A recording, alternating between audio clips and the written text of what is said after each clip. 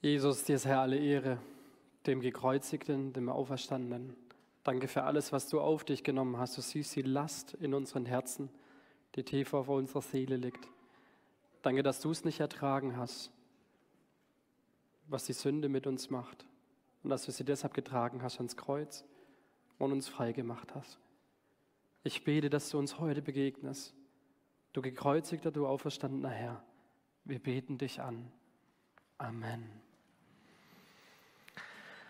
Alltag, Business as usual. Er ist gehorsam, er ist loyal, er kannte, was es bedeutet, Schmerz zu haben und er war ein Leiter. Centurio, Chef über 100 Soldaten und er war wieder bei seinem Alltagsgeschäft. Er musste, er durfte wieder Menschen kreuzigen. Dort hingen Rebellen, dort hingen Leute, die sich gegen das römische Reich aufgelehnt haben. Dort hingen Menschen, die von Gott verflucht waren. Und er macht das Beste draus. Er macht das Beste draus, er vertreibt sich die Zeit beim, beim Würfelspiel. Er hat es schon öfter durchgespielt. Hey, ich mache ich mach das Beste draus. Routine. Aber dieser Tag war irgendwie anders. Er wusste, um 18 Uhr muss alles gelaufen sein, weil sonst gibt es Ärger mit den Juden. Und dann war da dieser Jesus, der genannt wurde König der Juden und unschuldig gewesen sein soll. Wer es glaubt, wer es glaubt, wird selig. Und so wird dieser Jesus routinemäßig an dieses Kreuz genagelt und wie gesagt, er vertreibt sich beim Würfelspiel die Zeit und dann plötzlich fängt etwas an, in ihm zu schwingen. Er hört Sätze, sagt, Gottes Sohn, Christus, Messias, steig herab von diesem Kreuz. Da fängt etwas an, in ihm zu schwingen. Plötzlich wird es ganz dunkel. Die Erde verdunkelt sich für drei Stunden. Was für ein Naturschauspiel. Plötzlich ein lauter Schrei ein Blick ans Kreuz, dem er gegenübersteht. Und er schaut diesem Jesus in die Augen. Und Jesus schaut ihn an. Sein Blick trifft ihn mitten ins Herz. Und Jesus stirbt. Wenn ich Regisseur dieser Geschichte gewesen wäre, die hier niedergeschrieben ist in Markus 15, dann hätte ich immer wieder gesagt, stopp, stopp, stopp. Hey, so, so goes it not. So kann's, so kann es nicht gehen. Hey, dieser Text schreit vor Ungerechtigkeit durch jede einzelne Pore und es wird zunehmend schlimmer. Und ich denke mir so, nein, das kann nicht sein. Warum? Ich bin tief betroffen, weil es wegen mir ist, weil es für mich ist. Und ich mag mich vielleicht wehren, nee, wegen mir hätte es nicht sein müssen. Doch, es, es ist für mich, dass Jesus dort allein und verlassen von Gott stirbt. Kennst du das, dass du dich fragst, hey Gott, wo bist du? Dass du dich fragst, Gott, kann es sein, dass du mich eigentlich gerade verlassen hast? Jesus kennt es. Jesus hat die tiefste Gottverlassenheit an seinem eigenen Leib zu spüren bekommen. Er schreit am Kreuz, mein Gott, mein Gott, warum, warum hast du mich verlassen? Jesus ist das Leid dieser Welt nicht fremd. Jesus ist kein Gott, der irgendwo weit entfernt herumthront, sondern Jesus ist ein Gott, der mitten im Leid zu erfahren und der mitten im Leid da ist. Warum? Weil er es unerträglich findet. Er findet es unerträglich, dir zuzusehen, was du zu tragen hast. Und deshalb erträgt er am Kreuz, was ich hätte tragen müssen. Markus 15, der Hohe Rat beschließt, Jesus ist schuldig aufgrund von Gotteslästerung. Sie können ihn nicht umbringen, also bringen sie ihn zu Pilatus. Pilatus soll ihn dann letztendlich verurteilen und ans Kreuz bringen. Und interessant ist in Markus 15, je lauter die Anklagen werden, je lauter die Menschen schreien, desto leiser wird Jesus. Je länger diese Geschichte wird, desto größer wird die Ungerechtigkeit und sie schreit, wie gesagt, aus jeder Pore des Textes heraus. Ungerechtigkeit. Aber diese Geschichte, sie geht einfach weiter, sie nimmt ihren Lauf. Pilatus erfindet nichts Unrechtes an, an Jesus, aber er hat Menschenfurcht und keine Gottesfurcht. Vermutlich, weil ihm der Durchblick, die Erkenntnis gefehlt hat. Das Volk verlangt von, von Pilatus, dass er Barabbas freilässt, einen verurteilten Mörder, und dass er Jesus kreuzigen lässt, der unschuldig war. Und weil Pilatus ein bisschen labil dastand in seiner Politik, Menschenfurcht hatte, entschließt es sich letztendlich dazu und Jesus wird gekreuzigt, weil das Volk es so wollte. In Markus 15 ab Vers 20 steht dann, nachdem sie ihn so verspottet hatten, zogen sie ihm den purpurroten Mantel aus. Das war ein imitierter Königsmantel und seine eigenen Kleider wieder an. Dann führten sie Jesus aus der Stadt, um ihn zu kreuzigen. Da kam ein Mann vorbei, es war Simon von Kyrene, der Vater von Alexander und Rufus. Er kam gerade vom Feld zurück. Den zwangen sie für Jesus das Kreuz zu tragen. Jesus war schon so fertig, er konnte das nicht mehr selber. So brachten sie ihn zu der Stelle, die Golgotha heißt, das bedeutet übersetzt Schädelplatz.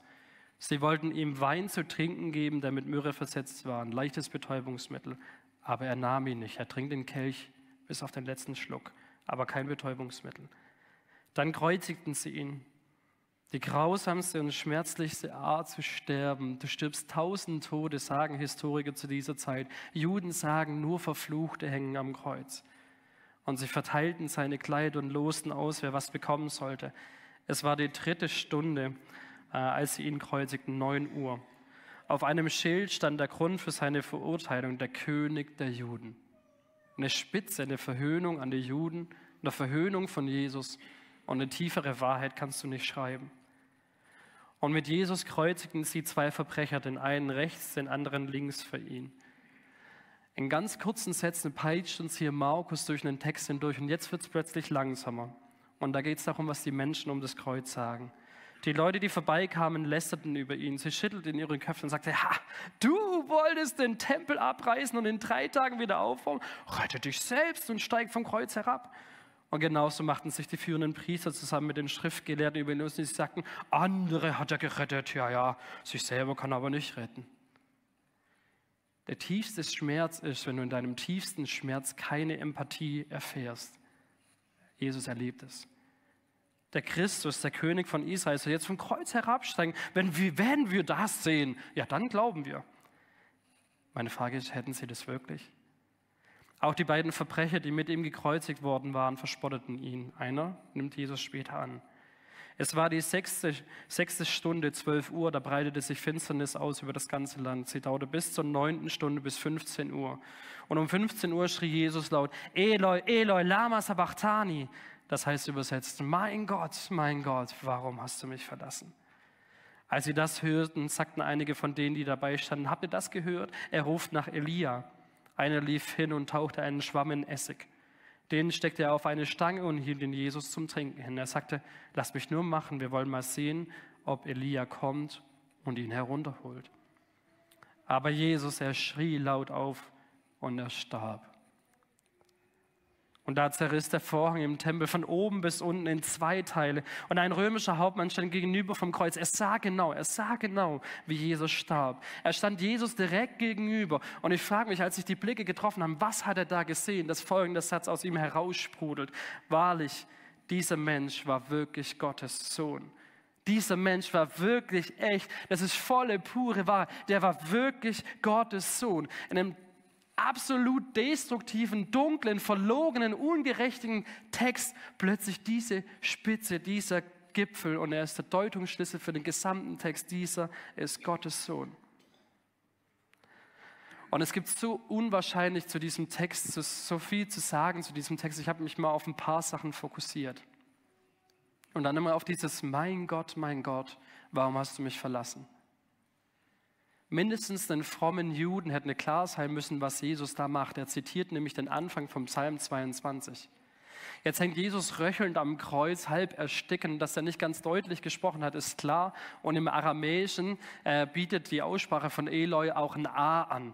Das heißt nachvollziehbar, dass die Leute Elia vielleicht verstanden haben, aber es ist definitiv das Zitat aus Psalm 22. Mit seinem letzten Atemzug hält Jesus quasi eine Predigt nämlich Psalm 22. Und da steht, Psalm 22 ab Vers 1, für den Chorleiter nach der Melodie Hirschkuh der Morgenröte. Ja, wer kennt sie nicht? Ein Psalm von David, mein Gott, mein Gott, warum hast du mich verlassen? Fern ist meine Rettung, ungehört verhalten mein Hilfeschrei. Mein Gott, rufe ich am Tag, doch Antwort gibst du mir nicht. Ich rufe in der Nacht, doch Ruhe finde ich nicht. Kennst du das? Du aber, du bist der Heilige, du thronst über den Lobgesängen Israels. Auf dich vertrauten schon unsere Vorfahren. Sie vertrauten darauf, dass du sie retten wirst. Sie riefen zu dir und sie wurden gerettet. Auf dich haben sie sich verlassen und wurden nicht enttäuscht. Hier steht das Gefühl des Verlassenseins, das ist das nicht das Ende. Das hat Gott über die Jahrhunderte hinweg erwiesen. Er rettet. Und die, ab dieser Stelle setzt dann dieser Psalm, der von David kommt, in eine Prophetie über, über Jesus. Ab Vers 7 geht es los, dass dieser Psalm eine Prophetie über Jesus ausspricht. Und ich habe einen Vergleich mal mitgebracht, Psalm 22 mit Markus 15, dass ihr das mal nachvollziehen könnt. In Vers 8 heißt es im Psalm äh, 22, alle, die mich sehen, lachen nur über mich. Sie spitzen die Lippen, sie schütteln den Kopf.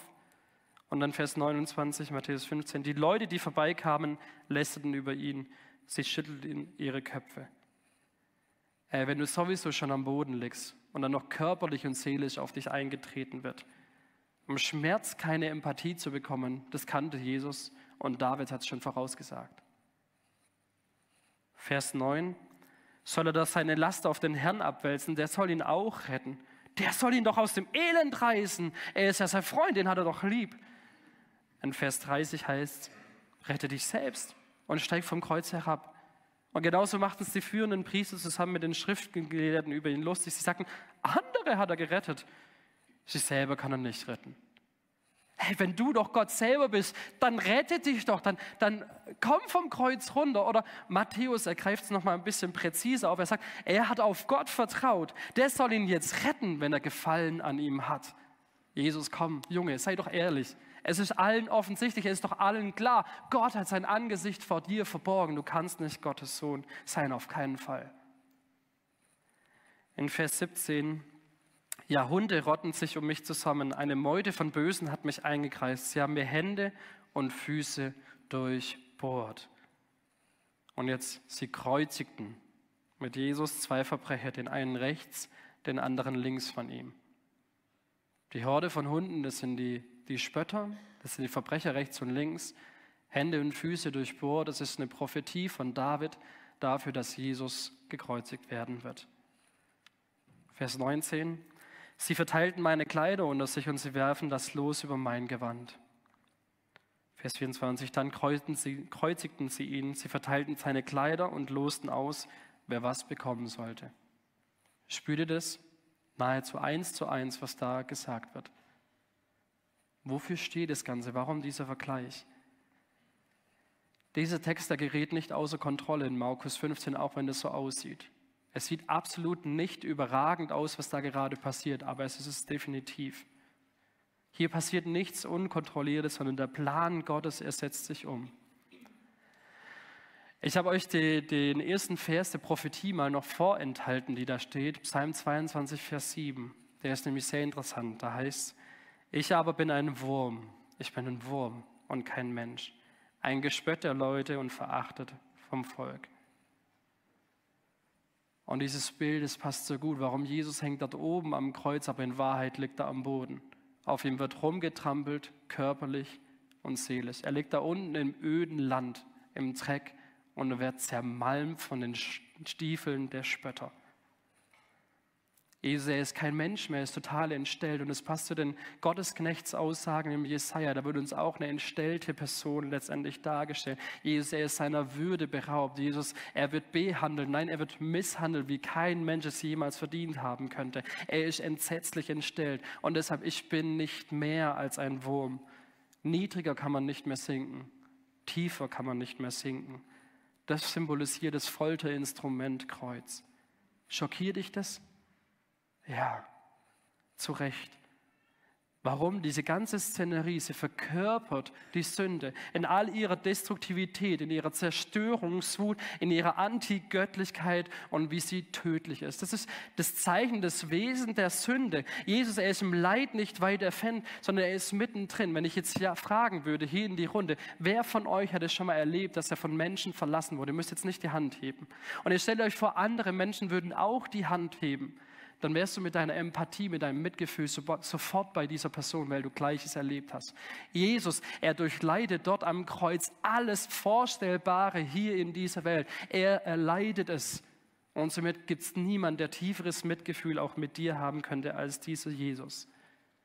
Und dieses Leiden von Jesus wird in Markus an den Menschen im ganzen Kosmos deutlich, das Wesen der Sünde. In Markus 15, da gibt es drei Stunden Finsternis. Das ist nicht mal kurz ein bisschen Mond vor die Sonne oder so, wie das funktioniert und drei Minuten dann, sondern drei Stunden lang. Das war ein Naturspektakel. Es steht dafür für Gottverlassenheit, für Einsamkeit. Es ist total deutlich, dass äh, hier in äh, Lügen und Neid, das sagt Pilatus über die führenden Priester, aus Neid haben sie ihn überantwortet. Lügen und Neid führen zu Ungerechtigkeit. Die größte Wahrheit, die am Kreuz hängen konnte, nämlich König der Juden, eigentlich König der Welt, die wird als eine Mobbing-Phrase verwendet. Die Bestialität der Sünde, sie wird deutlich am Kreuz und wir, ich glaube, allzu oft verharmlosen wir die Sünde. Ja, so ein bisschen Steuern hinterziehen, kriegt ja keiner mit. Also so ein bisschen egoistisch sein, ein bisschen muss man ja auch nach sich selber schauen. So ein bisschen über einen anderen reden, ja, man muss ja auch sagen, wie es halt ist ist ja noch nicht gelästert. So ein bisschen Sünde ist ja nicht schlimm. Doch, absolut, schau dir das an. Diese Szenerie am Kreuz zeigt dir deutlich, Sünde ist bestialisch, vernichtend und einfach nur tödlich. Das zeigt uns Psalm 22 in so deutlichen Worten. Da heißt es in Vers 15 und 16, wie Wasser bin ich ausgeschüttet. Das ist die Konsequenz der Sünde. Und alle meine Beine, Gebeine haben sich zertrennt. Mein Herz ist wie Wachs geworden, zerschmolzen in meinem Inneren.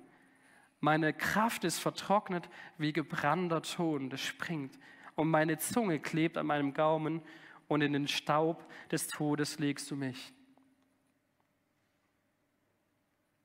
David ergänzt es in Psalm 32 nochmal, wie er dasselbe erlebt. Er sagt, von der anderen Seite ist, hey, glücklich darf sich jeder schätzen, dessen Vergehen vergeben werden, dessen Sünden zugedeckt sind. Hey, glücklich zu preisen, zu beneiden ist der Mensch, dem der Herr die Schuld nicht anrechnet. So täuscht er sich nicht über sich selbst. Doch als ich meine Schuld verschwieg, und das ist jetzt wichtig und essentiell, als ich meine Schuld verschwieg, verloren meine Glieder jede Kraft. Ich stöhnte den ganzen Tag. Tag und Nacht spürte ich, wie deine Hand mich niederdrückte. Ich lag da wie ein Feld, das die Sommerhitze ausgedörrt hat. Seht ihr und spürt ihr diese Zerstörungswucht der Sünde und wie wir Menschen dazu tendieren, das schön zu reden und auch schön zu verheimlichen? Nach außen hin, da ist alles happy clappy. Das sieht alles schön aus, aber innen, wie sieht es da aus? Was knechtet dich? Was ist da für eine Zerstörungswut auch in dir, vielleicht auch an, an dunklen Gedanken? Ich habe euch bewusst ein Unterhemd mitgebracht. Warum? Das zieht mir ja drunter, das sieht man nicht wirklich. Und diese Zerstörungswut der Sünde, die wird so sichtbar in unserem Leben. Zum Beispiel in Beziehungen, die zerbrochen geworden sind. Und das ist kein Streifenhörnchen, das auf dem Klo war, ja. Das wird sichtbar in dem, dass ich äh, so eine leicht egoistische Tendenz habe. Ich, mich, meiner, mir. Gott segne diese vier da wird diese Zerstörungswut total sichtbar. Es ist in dem, wo mich depressive Gedanken niederpeitschen und keiner, keiner sieht es, keiner erkennt, wie es mir eigentlich gerade geht. Es ist die Sucht, die dich in die Knie zwingt, die dir laut einredet, hey, du bist es nicht wert, Gottes Kind zu sein. Du müsstest es doch besser wissen, du müsstest es doch besser können. Es ist das, wo ich Menschen verletze, manchmal bewusst, manchmal unbewusst, wie es einfach nur mich zerstört. Und das tragen wir innerlich. Das tragen wir innerlich mit uns. Was für eine Zerstörungswucht. Jesus, er hat nicht in erster Linie ein Problem mit Sünde, weil es dann in der moralischen Zuspitzung, auch in moralischen Verfehlungen endet, sondern Jesus hat deshalb ein Problem mit Sünde, weil es dich zerstört. Weil es nicht erträgt zu sehen, wie es dich innerlich kaputt macht und nach außen hin sagt, mir geht's gut, ja, aber für das, dass es dir so gut geht, hast du ziemlich dunkle Augenringe.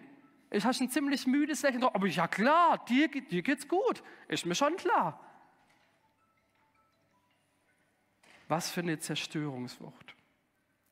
Und dieser Text, der ist nicht destruktiv, sondern absolut konstruktiv. Warum? Dieser, dieser Wurm steht für etwas. Dieser Wurm symbolisiert noch etwas anderes, denn dieses Wort Wurm kann für Karmesin stehen. Karmesin bedeutet Blutrot. Jesus vergießt sein Blut für uns. Und noch weiter könnte man davon ausgehen, dass es sich hier äh, nicht um den Wurm an sich handelt, sondern um eine Art Schildlaus. Und diese Schildlaus, von der wird tatsächlich dieses Karmesin gewonnen. Und das Faszinierende dabei ist, wie sich diese Schildlaus fortpflanzt. Sie klettert nämlich an einen Baumhof, dort hechtet sie sich fest, sie klebt sich dort fett, sie bekommt eine harte Schale, die ist karmesinrot. Darunter werden dann quasi die kleinen Larven geboren. Diese Larven, die, sie ernähren sich drei Tage lang von der lebendigen Mutter. Dann stirbt diese Mutter dabei, platzt sie auf.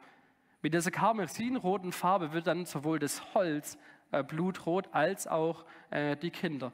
Das Interessante ist dann, dass die Mutter selber wie so von einer äh, Art Wachsschicht bedeckt wird, sie wird weiß. Wenn man davon ausgeht, dass nicht Wurm gemeint ist, sondern diese äh, Schildlaus mit, was schon naheliegend sein könnte, was ist das für ein Bild? Da gibt eine Mutter ihr Leben, da gibt Jesus ein Leben für uns, für seine Kinder. Da wird aus dem, was blutrot war, was für Sünde stand, wird plötzlich weiß und wird zum Leben. Und genau das greift letztendlich auch ähm, Jesaja 1, Vers 18 auf. Jesaja 1, Vers 18, da heißt, Kommt denn und lasst uns miteinander rechten, spricht der Herr. Wenn eure Sünden rot wie Karmesin sind, wie Schnee sollen sie weiß werden. Wenn sie rot sind wie Purpur, wie Wolle sollen sie werden. Ey, das Kreuz bedeutet, Jesus nimmt auf sich, was mich knechtet und was mich letztendlich kaputt macht. Das wissen viele von uns, aber was machen wir? Ach, so schlimm ist es doch nicht. Komm, ein bisschen waschen. Also, komm, so, so päp muss man nicht. Das kann man bestimmt auch wieder gut machen. Naja, funktioniert irgendwie nicht so richtig. Was Jesus tut am Kreuz, er sagt, hey, ich lade dich ein, du, du packst es nicht selber. Das knechtet und knebelt dich immer noch, das, das macht dich fertig. Es ist nicht einfach nur eine Bagatelle, aber komm zu mir. Ich will dich reinigen. Ich will dir gut tun. Ich will, dass dein Leben wieder ganz neuen Sinn ergibt. Ich möchte das befreien so. Ich, ich wurde abgelehnt, dass du angenommen wirst. Ich will in den Tod gehen, dass, dass du selber leben kannst. Ich nehme all das auf dich, was dich knechtet. Dein Leid, das möchte ich in Trost verwandeln. Jesus, ich, äh, ich, Jesus, will dein Retter sein. Und ja, das ist nicht einfach nur kurz so zack, sondern das ist manchmal ein Prozess. Wie aus diesem Blutrot, wie aus dieser tiefen Verletzung, wie aus diesem bestialischen Vernichtetsein plötzlich wieder ein weißes Gewand werden kann und du persönlich leben kannst. Es ist deine Entscheidung. Willst du weiter versuchen, selber das zu machen? Oder nimmst du diese Einladung von Jesus an, der sagt, hey, ich, ich will das machen. Ich will deine Weste weiß machen, dass das, was dich da innerlich knechtet, dass du frei davon werden kannst. Das ist mein Angebot an dich. Jesus schafft Freiheit. Und es wird so deutlich und so laut unterstrichen auch in diesem Text. Warum? Als Jesus stirbt, da zerreißt der Tempel im Vor, äh, der, der, Vorhang im Tempel von oben nach unten durch. Und es war der Weg zum Allerheiligsten, in das Allerheiligste, in die Gegenwart Gottes. Nur einmal, einmal im Jahr der hohe Priester rein. Und jetzt ist dieser Weg frei für dich und mich. Du darfst endlich deiner Bestimmung nachkommen, nämlich in Gemeinschaft mit Gott zu leben. Das passiert da. Weil du eine reine Weste hast, kannst du plötzlich auch Gott, dem heiligen Gott, begegnen und musst dabei nicht sterben. Was für eine Botschaft. Nichts, nichts steht mehr im Weg. Jesus, er zieht es alles durch. Er hält es durch bis zum Tod. Er trinkt den Becher des Schmerzes, brandgefüllt, den trinkt er aus und zwar auf Ex. Und zwar für dich und mich. Überragend sieht es irgendwie nicht aus, finde ich, in dem, wie das dargestellt ist. Eher kläglich, schmerzvoll und grausam. Was hier passiert am Kreuz, ist nicht unbedingt logisch, aber es ist absolut sinnvoll, so wie wir das sehen können hier an diesem Gewand. Und weil wir Menschen es nicht immer ganz logisch begreifen können, haben wir immer so eine Tendenz in uns zu sagen, Jesus, komm doch, zeig doch deine Macht, steig doch runter vom Kreuz, dann glauben die doch alle. Du kannst nach auch wieder hochsteigen, Sünde besiegen und so, kein Problem, aber steig doch kurz runter. Und vielleicht auch wegen mir hättest du es eigentlich nicht machen müssen. Ganz ehrlich, das ist das leise Flüstern Satan im Mund der laut krölenden und verspottenden Menge. Noch deutlicher wird dieses Gedankengut in Matthäus heißt, wenn, wenn du Gottes Sohn bist, dann, dann steig von diesem Kreuz herab. Wenn dann Mentalität. Ey, wenn du Gott bist, dann tu dies oder das.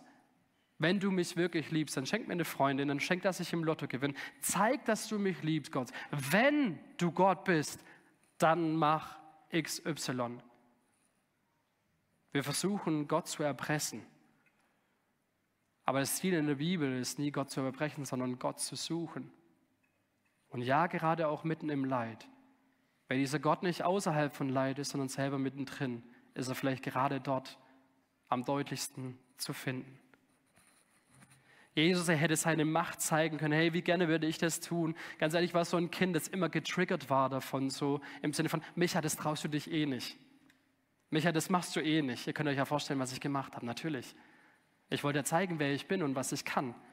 Und genau da versucht der Teufel, Jesus auch zu triggern. Aber Jesus, er hat etwas Größeres als sein eigenes Ego, das ihn antreibt, dort am Kreuz zu bleiben, nämlich die Liebe zu dir. Jesus hält es aus, dass seine Identität dermaßen in Frage gestellt wird. Er erkennt dieses Flüstern als eine Lüge. Und wir bekommen auch immer wieder eine Lüge eingeflüstert und ich glaube, es ist rund um Karfreitag gar nicht so ohne, nämlich Scham. Klar, zu Freitag, Karfreitag gehört dazu äh, eine gewisse Reue, Umkehr, Buße, vielleicht auch ein Entsetztsein über die schwerwiegende Konsequenz der Sünde und wie bestialisch das Ganze aussieht. Aber Scham ist etwas anderes.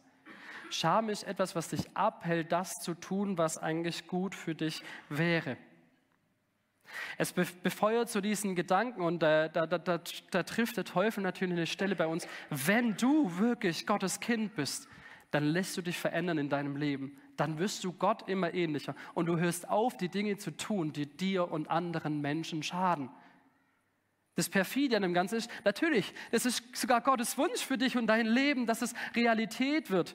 Aber das Problem ist der Umkehrschluss, wo es zur Lüge wird. Ey, wenn du dem nicht entsprichst, wenn sein Leben sich nicht verändert, du immer noch in der gleichen Sünde fest, dann kannst du nicht Gottes Sohn sein. Es ist dann kein Flüstern mehr, sondern ein lautes Schreien in deinem Herzen, was gepusht wird durch diese Scham. Und das ist eine absolute Lüge.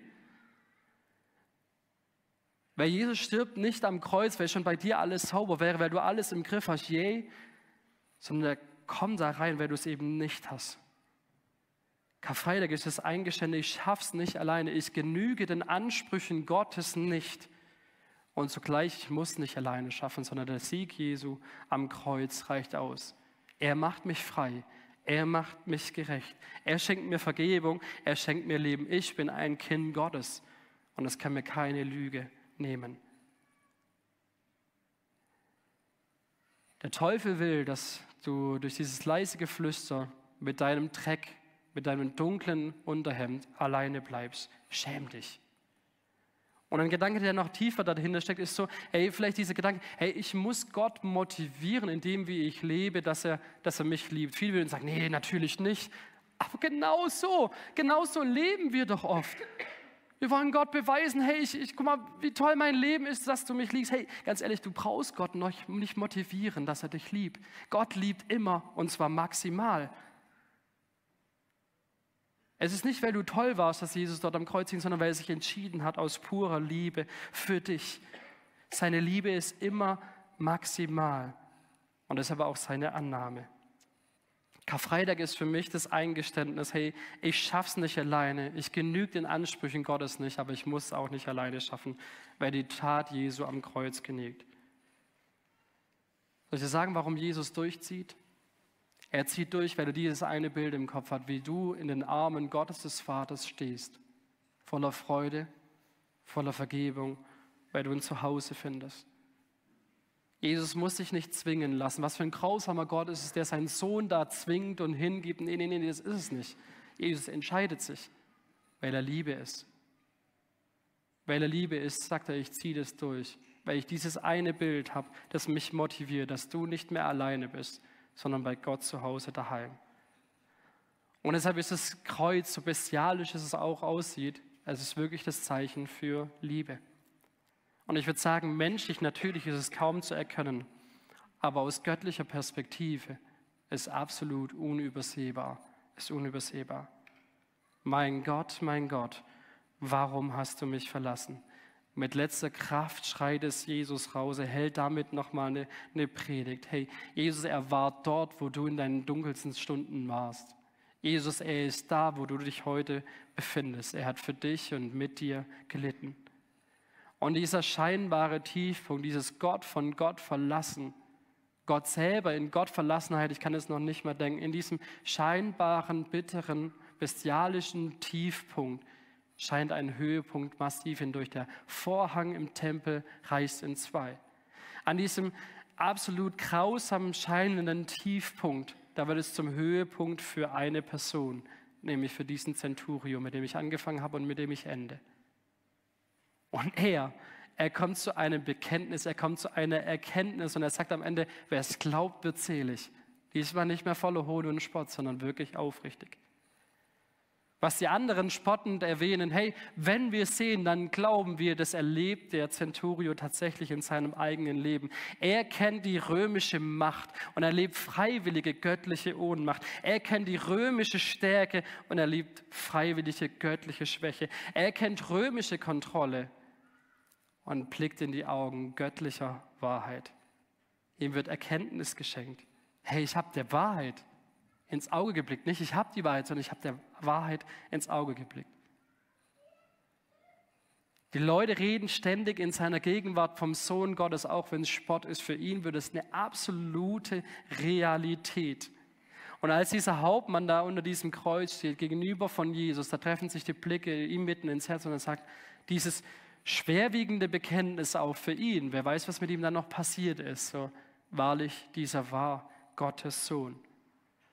Und dann habe ich mich noch gefragt, müsste dieser Zenturion jetzt eigentlich jetzt mega Schiss bekommen, so richtig Angst. Er hat gerade kapiert, dass er den Sohn Gottes umgebracht hat. Und wir müssen wissen, die Götter früher, die waren ganz schön rachsüchtig.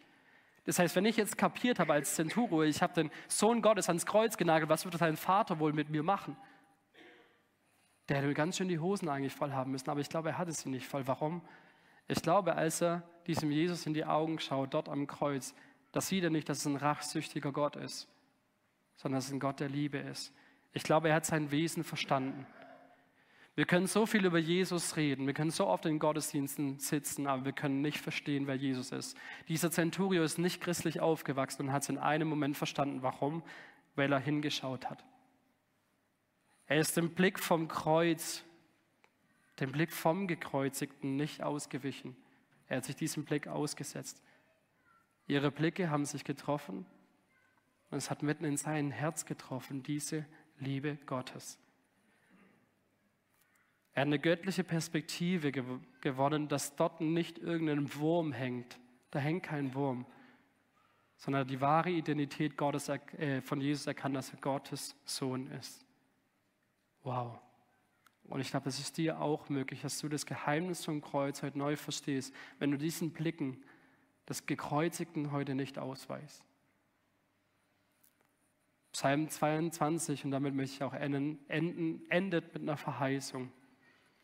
Vers 25 heißt, denn er hat die Augen nicht vor den Leidesbedürftigen verschlossen. Gott sieht dich. Er hat sich nicht abgewandt. Gott ist dir zugewandt, freundlich, sondern hat seine Hilferufe gehört. Dich will ich loben vor der ganzen Gemeinde, will meine Versprechen vor allen, die dich anbeten, erfüllen. Die Armen sollen essen und satt werden und alle, die den Herrn suchen, nicht erpressen, suchen, werden ihn loben. Und jetzt, euer Herz soll für immer leben. Euer Herz soll für immer leben. Hey, Karfreitag ist die Erkenntnis, ich brauche diesen Wurm. Darin liegt die Größe, darin liegt die Macht unseres Gottes verborgen, der sich selber nicht schont. Hey, lass dich nicht abhalten von der Lüge des Schames, sondern lass dich versöhnen mit Gott. Das Kreuz sagt, hey, Gott hat dich nicht verlassen, sondern er ist mittendrin in deinem Leid. Dieser Tod, ja, er ist wirklich überragend. Er konfrontiert mich gnadenlos mit meiner Begrenzung, mit meiner Verfehlung, mit der destruktiven Zerstörungsmacht der Sünde. Und zugleich scheint die Gnade so hell hindurch. Gott hat dich nicht verlassen. Er hat was vor mit dir. Er hat dich vergeben. Er hat dich frei gemacht. Glaubst du das? Ich möchte gerne mit Jesus reden. Ich möchte beten. Jesus, so ja, schenkt, dass dieses Wunder vom Kreuz in unseren Herzen ganz neu groß wird. Es entsetzt mich, es macht mich traurig und wütend, was da mit dir passiert ist und irgendwie, dass ich da auch mit drin hänge. Aber lass zu, dass Scham mich nicht abhält. Ich will alles vor dich legen. Wir wollen alles vor dich legen, jetzt auch gleich im Abendmahl, was uns trennt von dir. Du siehst, was jeder einzelne von uns vielleicht auch verheimlicht, wo wir dieses Unterhemd tragen voller dunkler Flecken, wo wir genau spüren, das macht uns kaputt, aber wir trauen uns nicht ehrlich zu werden, sondern bleiben im Verborgenen und erleben, wie wir austrocknen. Jesus schenkt, dass heute Freiheit stattfindet für jedes einzelne Herz dass wir erleben, was dein Kreuz für ein Sieg ist und dass du nicht im Tod geblieben bist, sondern dass du auferstanden bist und dass du lebst. Und wenn der Sohn befreit, der ist wirklich frei. Das will ich proklamieren. Danke, Jesus, dass du uns liebst. Amen.